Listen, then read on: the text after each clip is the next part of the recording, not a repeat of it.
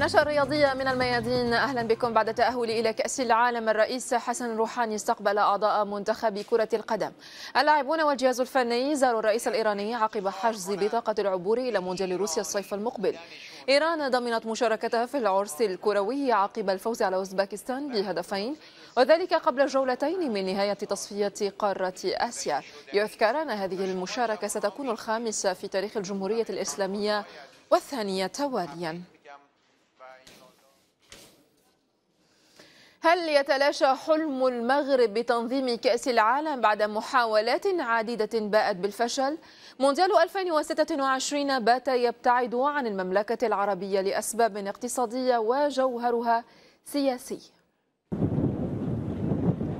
إزاء الغليان السياسي في الخليج مونديال قطر في خطر العرب انتظروا أن ينظموا المونديال مدة 92 سنة وهذا الانتظار قد يتمدد إذا ما سحب شرف التنظيم من الإمارة العنابية. حلم المغرب باحتضان كأس العالم أيضا قد يتبخر أو على أقل تقدير سيكون انتظار عام 2038 سيد الموقف. رئيس الاتحاد المغربي فوزي لقجع أكد استعداد بلاده لاستضافة البطولة الأهم مطالبا الفيفا بتطبيق كل المعايير لضمان تساوي الحظوظ بين الملفات وأشار إلى أن دور قارة أفريقيا حق مشروع وأن المملكة عازمة على الظفر بتنظيم المونديال فضلا عن تحضير ملف ترشيح متكامل. لكن تقارير أخرى أقرت بتقلص حظوظ المغرب بتنظيم البطولة في الدورات الثلاث التي تلي مونديال قطر وعزت الأسباب إلى استبعاد الاتحاد الدولي القارة الأوروبية عن السباق وبالتالي إلى فشل فكرة التقدم بملف مشترك مع إسبانيا والبرتغال. وإن مونديال 2026 سيذهب إلى أمريكا الشمالية بعد تقديم ملف مشترك بين الولايات المتحدة وكندا والمكسيك. وتسربت معلومات عن منح نسخة 2030 إلى إنجلترا حيث طلب رئيس اليوفا ألكسندر تشيفرين من الدول الأوروبية عدم مزاحمة الملف الإنجليزي فيما لن يخرج المونديال التالي عن دورة القارة الأسيوية وبالتحديد الصين التي تستند إلى قوة اقتصادية وحجم استثمارات هائلة فضلا عن تطبيق مبدأ المداورة بين القارات. ويبقى على الدولة المغربية تكثيف جهودها الدبلوماسية والاقتصادية لتقديم ملف أقوى من غيره؟ ولا سيما أن الملف المشترك قد يكون ضربا من الخيال في ظل العلاقات السياسية المتوترة مع الجزائر من جهة والبعد الجغرافي مع أقرب الحلفاء الأفارقة مثل ساحل العاج من ناحية أخرى في المقابل يرتكز الفيفا على عروض النقل التلفزيوني بغية الحصول على أكبر عائدات مالية لجمهورية كرة القدم. بعد الخسارة المفاجئة أمام قطر في تصفية آسيا المونديالية قال الاتحاد الكروي أو الكوري لكرة القدم المدرب الألماني أولي شيليكي بعدما أشرف على منتخبها الوطني ثلاث سنوات. كوريا خسرت أمام قطر للمرة الأولى منذ 32 عاما وهي الخسارة الثالثة في التصفيات. ما دفع الاتحاد المحلي إلى إقالة المدرب من أجل إحداث صدمة إيجابية في المنتخب على أن يخلف شيليكي مدرب محلي. بدوره استقال رئيس اللجنة الفنية في المنتخب الكوري يونغ سولي بسبب ما وصفه بالنتيجة الكارثية أمام قطر. روما الإيطالي يقدم مدربه الجديد أوزيبيو دي فرانشيسكو إلى وسائل الإعلام بعد التعاقد معه خلفا للوتشيانو سباليتي المنتقل إلى إنتر ميلانو. المدرب السابق لساسولو عاد إلى بيته القديم حيث سبق له أن توج بلقب الدوري الإيطالي كلاعب مع الذئاب عام 2001 دي فرانشيسكو يطمح إلى تكرار إنجاز بداية الألفية والتتويج مجددا بلقب الكالتشو إضافة إلى التأهل إلى مراحل متقدمة في دوري أبطال أوروبا. مستقبل زين زيدان سيكون مع منتخب فرنسا بحسب توقعات رئيس الاتحاد المحلي لكرة القدم نويل لوغريت. لوغريت تغنى بنتائج زيدان مع ريال مدريد مشيرا إلى أن طريقه مع بطل إسبانيا لا يزال طويلا. لكنه في نهاية المطاف سيتسلم المهمة الوطنية. رئيس الاتحاد كشف أنه نصح زيدان بأن يشق مسيرته التدريبية مع بوردو أو مع فريق أقل تواضعا لكنه فضل الانطلاق مع الملكي. أغلى صفقة انتقال في تاريخ نادي ليون شاءت أن تظهر في موسم الانتقالات الصيفية بعد توقيع كورنتان توليسو عقدا مع بايرن ميونخ.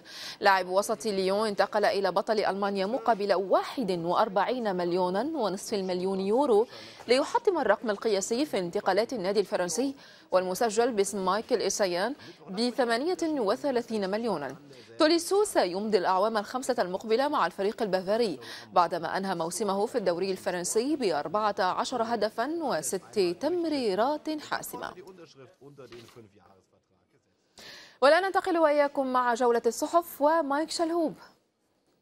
شكرا واهلا بكم في جولة على أبرز عناوين الصحافة الدولية التي نبدأها من فرنسا مع اليومية ليكيب التي تساءلت في عنوانها أسمان دومبلي وكيليون بابي ألا يذكرانكم بتييري أونري ودافيد تريزيغيه الثنائي شارك في المباراة الودية الأخيرة أمام إنجلترا وقد عاد الكاتب بالذاكرة إلى حقبة تييري أونري نسبة للتشابه في الأداء.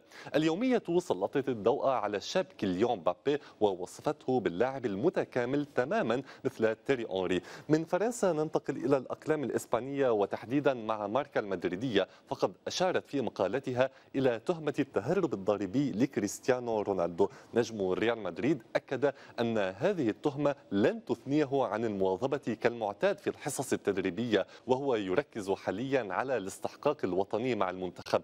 رونالدو وضع التهم جانبا طيلة هذا الأسبوع واهتم بنشاط خيري للأطفال إلى جانب التزامه مع منتخب البرتغال. دائما مع الصحف الإسبانية وننتقل إلى مواطنتها سبورت. فقد أبرزت كلام بيب غوارديولا عندما أشك بأمر ما دائما أتذكر ما كان يفعله يوهان كرويف. مدرب مانشستر سيتي أكد أن الأسطورة الهولندي يعد مرجعا في مسيرته الاحترافية حيث كان يدخل الملعب بجرأة عالية ولا يخشى شيئا. غوارديولا وصف الراحل كرويف بالملهم نهاية الجولة ستكون من أمريكا الجنوبية وتحديدا مع إل تييمبو الكولومبية فقد عنونت خاميس يحافظ على الرقم 10 في التصميم الجديد لقميص ريال مدريد. الكاتب وصف هذه الخطوة بالتجارية رغم المعلومات حول رحيل اللاعب الكولومبي هذا الصيف إلا أنه لا يزال أساسيا في التسويق لمنتجات النادي. مع هذا الخبر من كولومبيا نأتي إلى ختام الجولة الصحفية والآن عودة إلى متابعة النشرة شكرا لك مايك. إذا قميص ريال مدريد الجديد بات على واجهة المحال التجارية بعد الكشف عن التصميم للموسم المقبل. لاعب الملكي ناتشو كشف عن قميصين الأول باللون الأبيض والأزرق والثاني وهو الرديف. سيحمل اللونين الأسود والأخضر. وقد كتب في الجزء السفلي تاريخ تأسيس النادي. ناتشو أشرف على مباراة مصغرة داخل متجر النادي حيث ارتدى اللاعبون التصميم الجديد. ابن 27 عاما أكد أنه لا يزال يعيش فرحة عارمة بعد التتويج بدوري أبطال أوروبا ولا ليغا الإسبانية. نادي برشلونة ورئيس الحكومة الإسبانية ماريانو راخوي في القفص الاتهامي تهم بالفساد قد تؤدي إلى تأليف لجان مختصة لمراقبة العمل الكروي والسياسي. شكل المعارضون في نادي برشلونة كتلة قوية في وجه الإدارة الحالية بعدما وصفوا هذا الموسم بالكارثي على الصعيد الفني والإداري ليظهر الإخفاق بالنتائج المتواضعة المتمثلة بالتتويج بكأس الملك فقط مقابل ميزانية بلغت 695 مليون يورو. قسم لا يستهان به في الجمعية العمومية أنشأوا موقعا إلكترونيا بعنوان التصويت للمراقبة باللغتين الإسبانية والكتالانية وفيه دعوا إلى التصويت على عريضة مفادها تشكيل لجنة لمراقبة عمل الإدارة والحد من الفساد.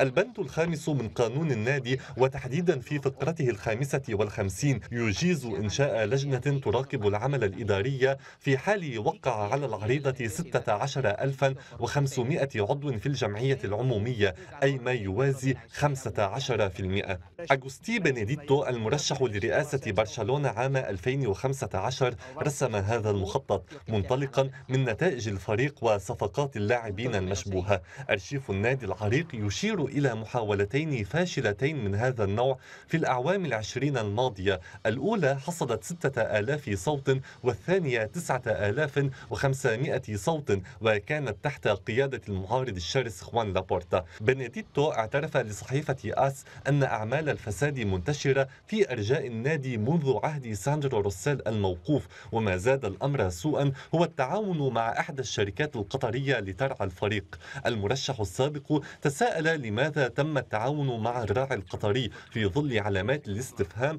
حول استضافة قطر لمونديال 2022 والثاني التزامن مع تشكيل لجنة لمراقبة حكومة ماريانو رخوي المتهم بالفساد العلني فهل هذه صدفة؟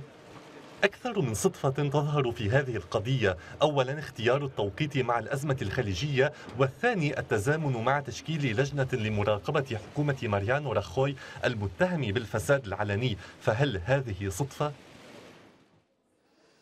نجم كرة السلة الأمريكية السابق دينيس رودمان يهدي وزير الرياضة الكوري الشمالي كيم إيل جوك نسخة من كتاب فن الصفقة للرئيس الأمريكي دونالد ترامب. رودمان استغل زيارته إلى كوريا من أجل تقريب وجهات النظر بين البلدين ولا سيما أن علاقة صداقة تربطه بالرئيس كيم جونغ أون وشملت زيارته الرياضيين الفائزين بالميداليات في البطولات الدولية حيث تحدث معهم وامتدحهم على إنجازاتهم مواقف دونالد ترامب المثيرة للجدل دفعت نجم جولدن ستيت ووريرز ستيفن كاري إلى رفض فكرة الذهاب إلى البيت الأبيض من أجل تقديم كأس البطولة إلى الرئيس الأمريكي كما جرت العادة في بلاد العم سام كاري أكد أنه لن يرافق أعضاء فريق جولدن ستيت إذا قرروا الذهاب.